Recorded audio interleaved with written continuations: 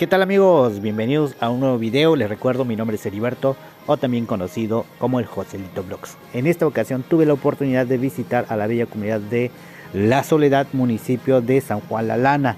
En esta comunidad se habla la lengua chinanteca y hay alrededor de 300 habitantes.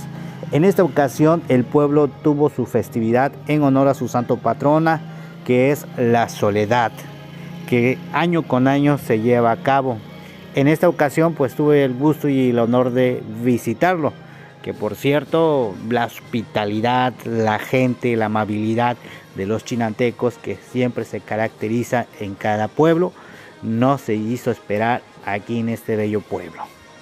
Recorrimos las calles y en verdad saludamos a cada persona y sobre todo ahí encontramos algunos este, seguidores, así como nuestro amigo Francisco, de esta bella comunidad de la Soledad, quien me invitó a su domicilio y a probar el rico caldo chinanteco.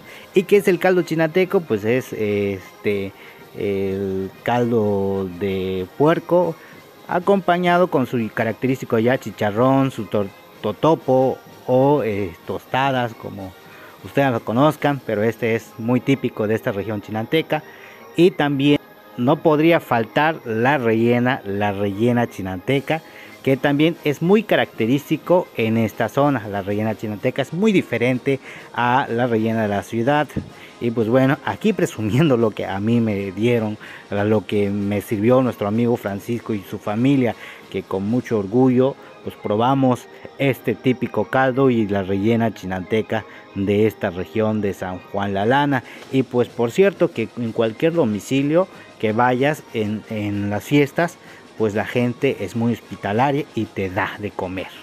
Y pues de ahí pasamos a su iglesia, su colorida iglesia, donde este, ya estaban arreglando, porque pues al parecer nosotros llegamos ya casi terminando la fiesta. Pero ahí la gente muy muy amable, disfruté mi instancia en esta bella comunidad de la Soledad, municipio de San Juan La Lana. Así que les dejo el video, las tomas aéreas. Espero que les guste. Les recuerdo, mi, nombre es Heriberto Antonio o también conocido como el Joselito Blogs. Nos vemos hasta la próxima y en un nuevo video.